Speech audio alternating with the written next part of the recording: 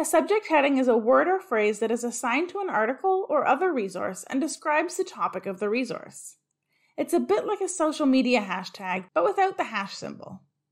You might be thinking, isn't that a keyword? Subject headings and keywords are both types of terms you use to search, but there's a difference. Keywords are the words you choose that describe the key ideas you're searching for.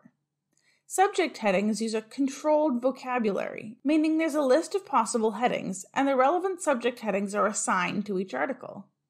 A single article might have multiple subject headings, especially if it covers a range of topics. Searching by subject heading is more powerful than searching by keyword. Here's why.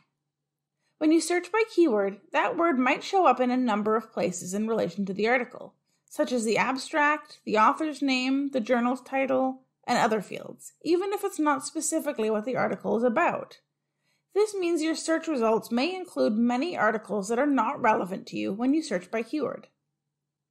When you search by subject heading, you're limiting your results to articles that are actually about that topic. Keep in mind that not every concept has a subject heading, so in some cases you won't be able to find a subject heading that means exactly what you're looking for. Rather than trying to convert every keyword into a subject heading, it's often best to use a combination of keywords and subject headings when searching. Subject headings are also useful because they're arranged in a hierarchy of broader and narrower terms.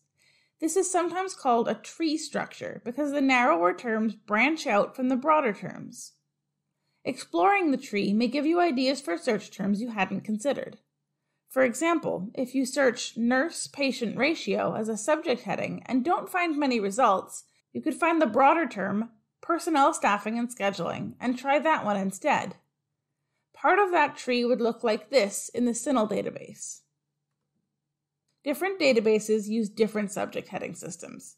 For example, CINAHL uses CINAHL subject headings, while a lot of other databases, such as PubMed, Medline, and Cochrane, use a system called MESH. This means you'll need to look up your subject headings in each database you use. We hope this helps. Thanks for watching.